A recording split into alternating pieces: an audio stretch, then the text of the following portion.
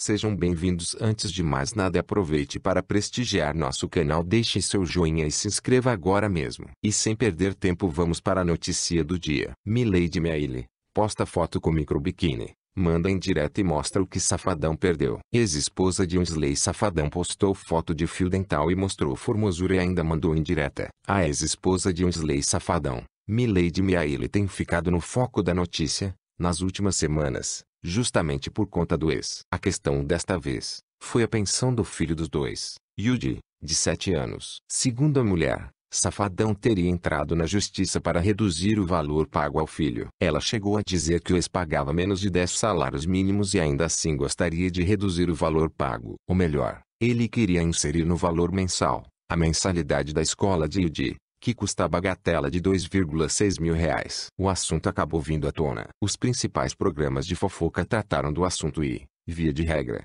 a atitude do cantor foi detonada. Tudo porque Safadão tem um dos maiores cachês do Brasil e não ganha menos que um milhão de reais por mês. Assim, 2,6 mil reais não faria diferença no orçamento mensal do mesmo. Segundo o cantor, via sua assessoria, ele negou estar reduzindo a pensão, mas confirmou que quer pagar tudo de forma oficial, ou seja, que todo o valor pago seja estabelecido no acordo e não quer pagar mais nada por fora.